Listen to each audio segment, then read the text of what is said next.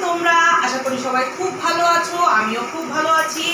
আর এই মাত্র আমি চান টান করে আসলাম, আমার চুল ফুল দেখে তোমরা বুঝতেই পারছ, আমি চান করে এসেছি। আর আজকে আমি একটু একটু খুশি একটু খুশি আছি। কারণ কারণটা হলো, আজকে ফাইনালি আমি আমার চ্যানেলের জন্য একটা ক্যামেরাম্যান পেয়ে গেছি। আমার খুব অসুবিধা হতো, যখনই ভিডিও করতে যেতাম ট্রাইপড নিয়ে আমার এদিকে বসাও, তারপরে নিজেকে প্রিপেয়ার করো, তারপরে ভিডিও করো, আবার ট্রাইপড নিয়ে এদিকে নাও। কিন্তু আজকে যেহেতু একটা ক্যামেরাম্যান পেয়ে গেছি, তা আমি আনন্দে একেবারে ওভারওয়েলড হয়ে গেছি। তা আমি কোথা থেকে ক্যামেরাম্যানটা পেলাম? আর ক্যামেরাম্যানটা কে?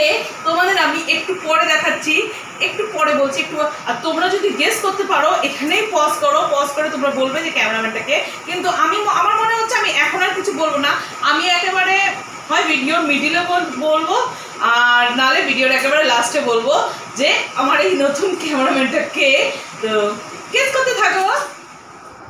তো আমি এখন একটু বসলাম, কিন্তু বেশিক্ষণ বসতে পারব না। এখন লাঞ্চ টাইম আমার। আমার মানে আমাদের সবার এখন লাঞ্চ টাইম তো নিচে যাব লাঞ্চ করতে। আর প্রায় দুটো বেজে গেছে।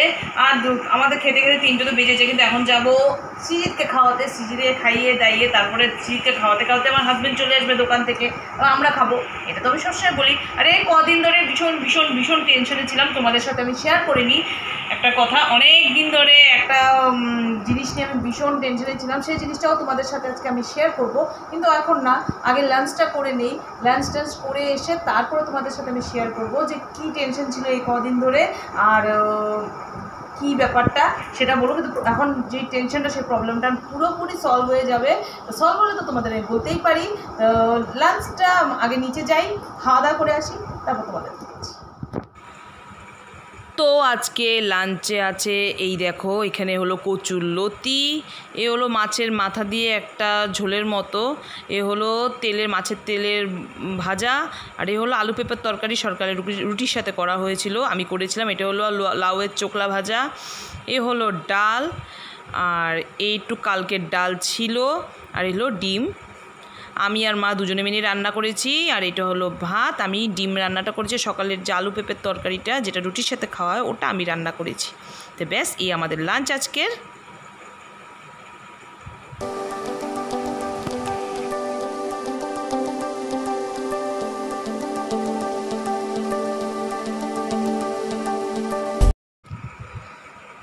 এখানে সৃজিত খেলা করছে আর আমি আমার হাবির জন্য ওয়েট করছি যে ও আসলে আমি খাব। আর ওকে একটু বকা দিয়েছিলাম খাওয়ার সময়। তাই একটু আমার সাথে রাগ রাগ, ভাব দেখ, দেখছ তোমরা যে আমার দিকে তাকাচ্ছে না নিজের মতো নিজে খেলছে। আর এই দেখো ঘড়িতে বেজে গেছে পৌনে তিনটে। আর সৃজিতের একটা বড় কার্টুন যেখানে ওর যত পুরনো সম্পত্তিগুলো আছে, ও সব বের করছে আর এখানে বাবা খাচ্ছে। এই দেখো, আর সাইডে মাও আছে। সাইডে না সামনে মা বসে খাচ্ছে। আমি ঠিকভাবে দেখাতে পাচ্ছি না। বাবা মা দুজনেই খাচ্ছে, কারণ ওনাদের এত লেট করার কোনো মানে হয় না। ওনাদের বয়স হয়েছে, তাই আমি ওনাদের ফোর্স করি যে তোমরা খেয়ে নাও। আমি আছি বসে, আমি আসলে মানে আমার হাজব্যান্ড আসলে, আমি আর ও দুজনে মিলে খাব। আর এই দেখো আমাদের ডাইনিং টেবিল আছে, কিন্তু আমাদের নিচে ডাইনিং স্পেস নেই, সেরকম সিস্টেম নেই যে মানে ডাইনিং টেবিলটা পাতা যাবে, ঘরের মধ্যে ডাইনিং টেবিলটা পাতা হয়ে যায়, তাই এখানে বেশি একটা খাই না। মাঝে মাঝে সকলে খাই, নাহলে আমরা নিচেই বসে খাই। আর সৃজিৎ এখানে খেলনাগুলো বের করছে, দেখো, এত বড় একটা বাক্সর মধ্যে সব যত আগের খেলনাগুলো, ওর যত খেলনা এটা মেলায় দোকান দেওয়া যাবে, যত খেলনা ওর আছে। আর এই বিছানাটার অবস্থা দেখো মানে বিছানা পুরো মেস থাকে সবসময় ওর জন্য, ও কোনো দিনও বিছানা ঠিক রাখতেই দেয় না সব সময় এরকম অগোছালোই থাকে। আর দেখাবো না বেশি বিছানা তোমাদের।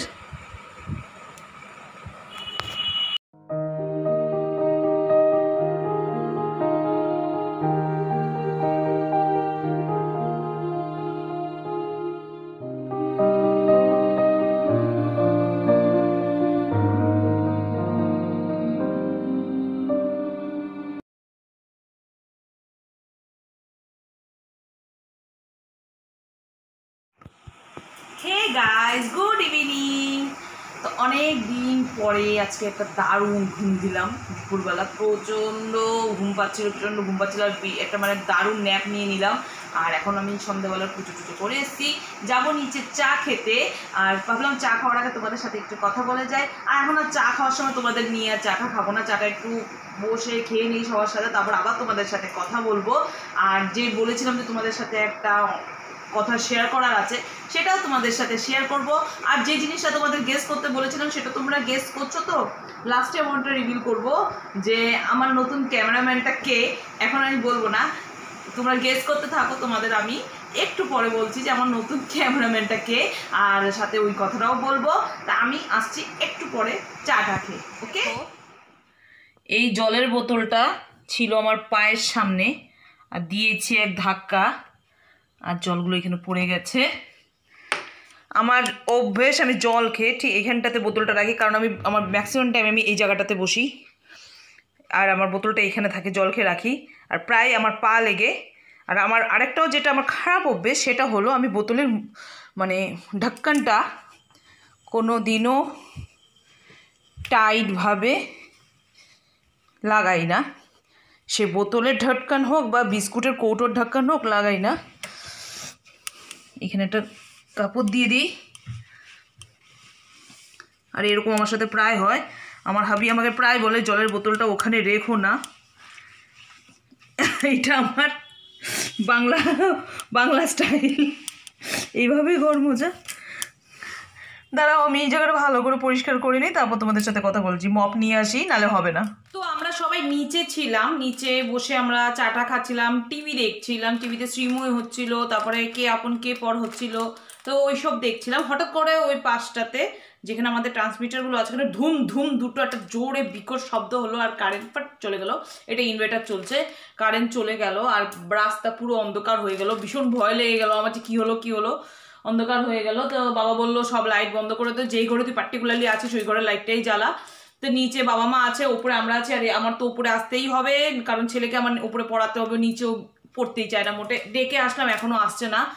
আর এর জন্য ফ্যানও চাইনি, কিন্তু ফ্যান ছাড়া তো থাকে, যা- থাকা যাবে না অবভিয়াসলি ফ্যান চালাতে কারণ কতক্ষণ এরকম থাকবে, কতক্ষণে ঠিক হবে? অবভিয়াসলি ইলেকট্রিক অফিসের খবর দেওয়া হয়ে গেছে, লোক আসবে, ঠিক করবে টাইম তো লাগবেই।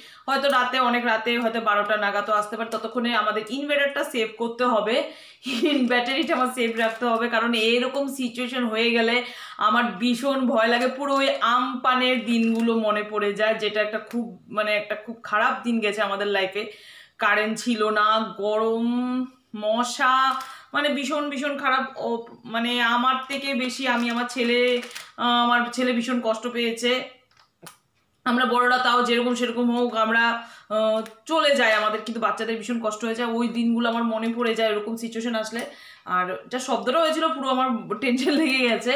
জানি না রাতে আসবে কি না, তো সে তখন আমাদের ইনভার্টারটা মানে প্রায় যাবে যাবে অবস্থা ছিল। এই জন্য আমাদের অর্ধেক দিনও ইনভার্টার যায়নি, আমপানের টাইমে সঙ্গে সঙ্গে বন্ধ হয়ে গেছিল। কিন্তু এরপরেই আমার হাজব্যান্ড আর আমার বাবা বাবা, এরা তড়িঘড়ি করে ইনভার্টার ব্যাটারি সব চেঞ্জ করেছে। যেহেতু পরের সিচুয়েশনে অন্তত দুদিন ইনভার্টার যায়, টেনে নেয়, কিন্তু তাও সেভ করতে হবে। তা আমি বারান্দার লাইট সব করে দেবো, ছেলে আসলে, আর তারপর ওকে পড়াতে বসবো। আর এখন আমি এই চকলেট কেকটা খাব, আমি আর আমার ছেলে। চকলেট কেক খাব। আসছিস না বাবা প্রেমে? আর ওকে করতে বসাবো। আমি সন্ধ্যাবেলা জেনারেলি কিছু খাওয়া মোটামুটি বন্ধই করে দিয়েছি। তা আজকে বাবা অনেক ইনসিস্ট করছে যে সন্ধ্যাবেলা কিছু খাবি না কেন, খা খা। তা আমি বলেছিলাম প্রথমে, না না, দরকার নেই। তারপর বাবা নিয়ে আসলো কেক যেহেতু লকডাউন চলছে, তাই ব্রেড এইসব পাওয়া যাচ্ছে না সন্ধ্যাবেলা। ব্রেড আসছে না। কালকে লকডাউন ছিল আর আগামীকাল আবার লকডাউন এখন তো তোমরা জানোই, সবাই জানো যে উইকে দুদিন লকডাউন থাকবে, প্রত্যেকটা উইকে দুদিন করে লকডাউন থাকবে।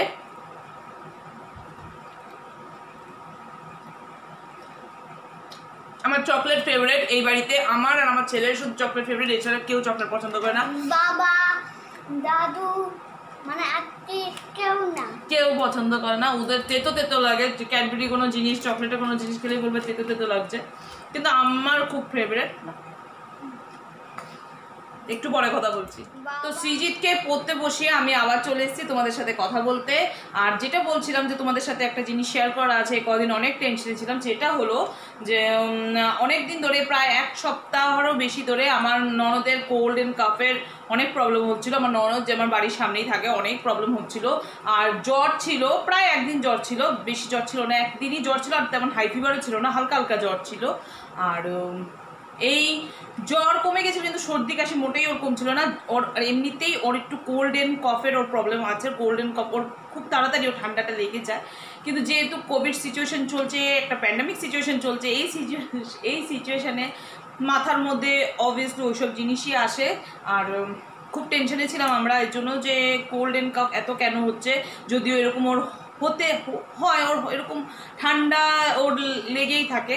কিন্তু একটা প্রবলেমে ছিলাম, ভীষণ আমাদের একটা টেনশনে ছিল। আর এই টেনশনে টেনশনেই মানে ওর আমরা কোভিড টেস্ট করাই। আর টেস্ট করানোর পরে মানে তোমাদের আমরা বলতে পারব না কি হচ্ছে? ফানি ফেসেস বানাচ্ছে। আর টেস্ট করার পরে মানে তোমরা বিলিভ করবে না যে টেস্ট করার পরে যে দুদিন, এই যে দুদিন রেজাল্ট বেরোয়নি, আবার কথা বলি একটু। সে দুটো দিন যে কি আমরা টেনশনে ছিলাম, সেটা মানে এতটাই টেনশনে ছিলাম যে পজিটিভ আসবে কি না যদিও ভেতরে ভেতরে আমাদের গাট ফিলিং ছিল যে না ফিভার নেই জাস্ট কোল্ড কাপড় কোল্ড কাপড় হয়। এই নিয়ে আমার মানে কিন্তু খুব বেশি আমরা টেনশনে ছিলাম। যদিও নিজেকে শক্ত রেখেছিলাম, না না নেগেটিভ আসবে নেগেটিভ আসবে, আর যদি পজিটিভও আসে, তো আজকাল অনেকটাই সুস্থ হয়ে যাচ্ছে। পজিটিভ আসলেও সুস্থ হয়ে যাচ্ছে, কিন্তু তাও একটা মনে মনে একটা ভয় তো লাগেই। আমার হাজব্যান্ড বলেছে নেগেটিভ আসবে আমার বাবা মানে শ্বশুর মশাইও বলেছে নেগেটিভ আসবে, কিন্তু সবচেয়ে বেশি যেটা টেনশন ছিল সেটা আমার আর মার, শাশুড়ি মার। আর আমরা খুব টেনশনে ছিলাম। ওর বাড়ির কেউ কারোরই টেনশন ছিল ওর বাড়ির লোকেরা পুরো শিওর ছিল যে এরকম কিছুই হবে না। জাস্ট একটা সেফটির জন্য টেস্ট করানো জাস্ট একটা সন্দেহ যাতে মনে না লাগে এর জন্যই টেস্ট করানো, কিন্তু তাও একটা মনে ভয় তো ছিলই। তো কালকে রিপোর্ট আসলো রিপোর্টে নেগেটিভ আসলো থ্যাংক গড মানে এত মাথার থেকে একটু বোঝা নামলো মানে হাসি ফুটলো, বিশেষ করে মার মার তো ভীষণ টেনশন ছিল, ভীষণ ভীষণ টেনশন ছিল। তো ওই টেনশন থেকে আমরা মুক্ত হলাম লাস্টে মানে ভীষণ টাইম চলে এসছে তোমাদের কাছে রিভিল করার যে আমার নিউ ক্যামেরাম্যানটি ক্যামেরাম্যানটা কে? তো তোমরা এতক্ষণে ম্যাক্সিমাম লোকেরাই নিশ্চয়ই তোমরা ইঙ্গিত করে নিয়েছো যে আমার নিউ ক্যামেরাম্যানটা কে আর নিশ্চয়ই তোমরা কমেন্টসে অনেকে বলা শুরু করে দিয়েছ। তা আমার ক্যামেরাম্যানটা কে? চলো তোমাদের একটু দেখিয়ে নেই। এই হলো আমার নিউ ক্যামেরাম্যান নাচ করছে আমার ক্যামেরাম্যান হি ইজ বা বা বাহ বাহ বাহ। আনন্দ। ক্যামেরাম্যানের কাজ পাওয়াতে ভীষণ আনন্দ হচ্ছে। ওর খুব ইচ্ছে আমার ভিডিও শ্যুট করে। আমি ওকে বলেছি, তো ও বলছে, আমি তোমার ভিডিওগুলো শ্যুট করে দেবো। যদিও সবসময় করে দেবে না, মাঝে মাঝেই দেবো। খুব ইচ্ছে।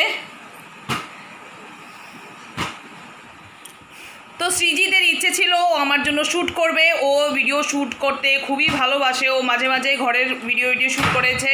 ও এরকম শ্যুট করতে পছন্দ করে দেখে ওর জন্য একটা নিউজ চ্যানেলও আমি খুলে নিয়েছি। তোমরা হয়তো ওই চ্যানেলের এখনও জানো না। ওই যে চ্যানেলের নাম আমি ডেসক্রিপশনে দিয়ে দেবো। ওখানে ও নিজের থেকেই ভিডিও টিডিও করেছে, এর জন্যই দিয়েছে। আর ওর শ্যুট করতে ভালোবাসে, তাই আজকে ওকে আমি শ্যুট করার সুযোগ দিয়েছি, কিন্তু সবসময় তো দেবো না। বাচ্চা মানুষকে সবসময় এত প্রেশার দেবো না, যে আমার পেছন পেছন মোবাইল নিয়ে ঘোরো বা ক্যামেরা নিয়ে ঘোরো। তা এই ব্লগটা আমি এখানেই শেষ করছি। আর তোমাদের সাথে আমি নেক্সট নেক্সট নেক্সট ব্লগে দেখা করব, কারণ আর বেশি কথা বলব না। সুজিতকে এখন